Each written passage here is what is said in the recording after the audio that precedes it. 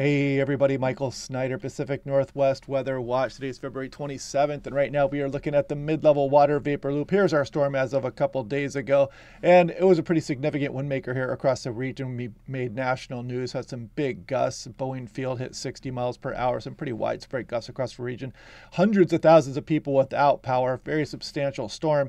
And if we put that into motion and check out what happened yesterday, look at the lenticular cluster to kick off across the Olympic Mountains. You can see them right there. And then as we went through the evening hours yesterday, we got those lenticular clouds across Mount Rainier. I've got a buddy who's got his webcam pointed out there. I'm always checking that one out, but I could see that lenticular cloud from my desk there at SeaTac yesterday. So I was taking some pictures of that. But yeah, fun stuff there. And then this ends up where we are now. So we'll take a look at what is to come here. And I'll show you that as we go through the month of March, potentially April, we are definitely going to be dealing with some cooler weather at times. You know, we are not just all of a sudden going to be diving into spring here in the Pacific Northwest or anything like that. We're definitely going to have some more active weather here over the next couple of months. I show, I'll show you some of that here in a moment.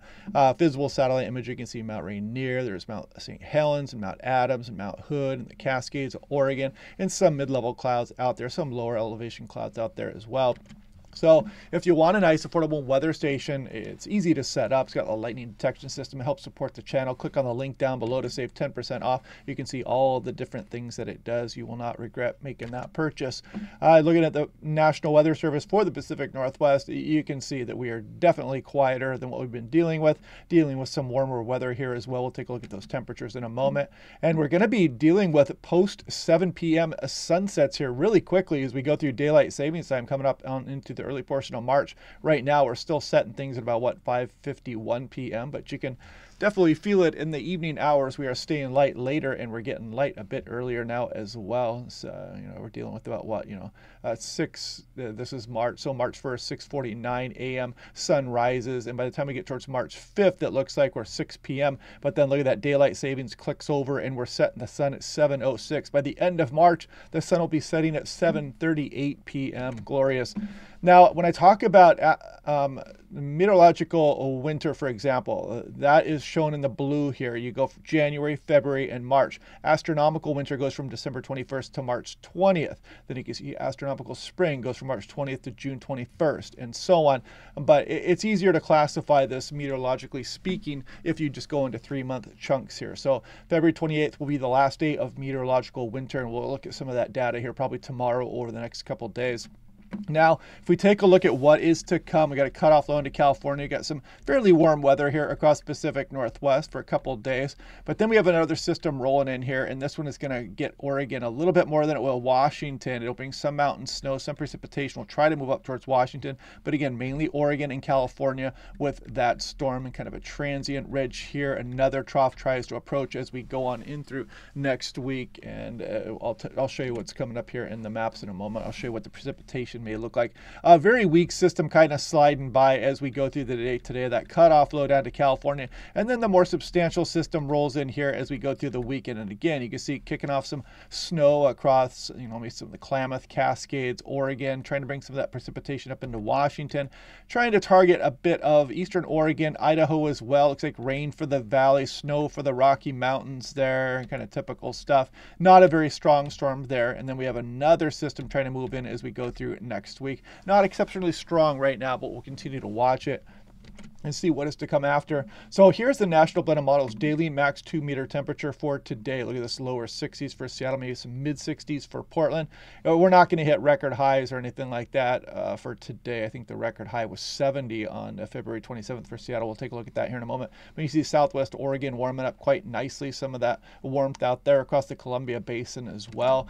And this is the 2 meter temperature anomaly. So as we go through the day today, you can kind of see that we do warm up. We are above normal for this time of year, but it's you know a, a, fairly quick shot of some warmth here. As we go on in through Friday, you see again there is some areas, especially the Cascades of Oregon, that are going to be above average, but we we relax some of those temperatures here, and then we go on into Saturday again, fairly warm for the higher terrain. But watch as we go on into the weekend, you can kind of see the cooling start to come in here for places of Oregon, and it starts to cool things down across Washington as well. So Um, taking a look here, this is um, taking a look at Seattle. Record highs February 27th, so 70 back in 1968. Portland, actually, surprisingly, Seattle beat Portland there, uh, 1968, 68 degrees. You can see the other uh, warm days that have occurred on February 27th. So we are not going to be breaking these uh, records or anything. And the highest February temperature for Seattle is 70 and Portland is 71 back in 1988, February 28th. So interesting stuff there. Now, taking a look at the extended forecast a little bit here. So there we go at the cutoff low. There's our more substantial system this weekend. Transient ridge rolls through. Then we get another trough trying to roll through next week. We'll see which areas this storm is going to target more and how much the pre precipitation will be occurring across the Pacific Northwest. Another transient ridge, but then we get the Gulf of Alaska trough. Looks like it starts to get rolling again here. And this might be a more substantial system as we go on into about the March 8th, 9th, 10th time frame here. So we'll be watching that one there quite closely. And then as you can see, if we scroll off into the future, there's additional troughs moving through here. So you can imagine we are not done with the cooler, chillier, windier weather here across the region. No doubt more mountain snows will be coming. Will any lower elevation snowfall potential happen? Who knows? Well, I'll show you an extended fun forecast here in a moment. Actually, right now, here's Spokane. So this goes out 46 days. So as we go through about, you know, the March 8th, 9th, 10th time frame, it does show a cool system coming down across the Pacific Northwest here. And you can see the ensemble mean for Spokane, for example, you know, it climbs up there and it is showing another 10 inches of snowfall by the time we get off in towards uh, mid April, and most of that falling by the time we get to the end of March. But the blue is the control run. So the European weeklies run 100 ensembles.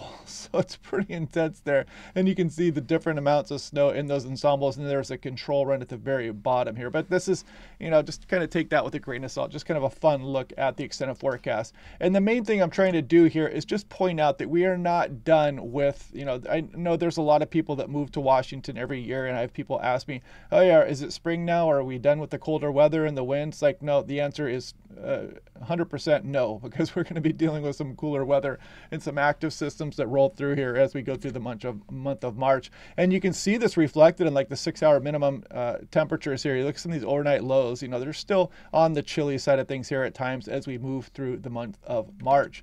So Seattle Tacoma, this is another look at that 46 day forecast total uh, precipitation amounts. And you can see the control and the mean very close. So by the time you get towards the end of March, what it, it's scheduling another four or five inches of rainfall there. So yeah, we, we do have some ways to go before we start to really get back into the main spring warmth. Now, six to 10 day temperature outlook. You can kind of see that mixed bag for the Pacific Northwest. Six to 10 day above normal for a lot of the West. Eight to 14 day, you can see they're starting to highlight that below normal here. And we'll see how that turns out. This goes March 6th through March 12th and the 8 to 14 day. Look at that above average all the way up across the Pacific Northwest also. And just a reminder, this was put out a couple days ago, February 20th, actually more than that, about a week ago now. But this is the March forecast was for below normal temperatures and above normal precipitation. And this is the seasonal outlook issued at the same time, March, April, May, below normal here across a lot of the Pacific Northwest and the above average signal there, big below normal here across the Southwest USA. And this drought monitor was updated here today. Uh, and you can see Oregon looks like completely drought free. Not the case for Washington, Idaho, or Montana. And if I click in on Washington, in fact, you can do so. It does include some of the Seattle metro there as well. So we do have some moderate drought out there. We got a pretty good deficit precipitation wise across some of the higher terrain. So something to watch out for. We'll see how that goes on through the spring months. But anyway, hope you guys are having a good day. Otherwise, click like and subscribe. We'll do this all again tomorrow, and I will talk to you guys then.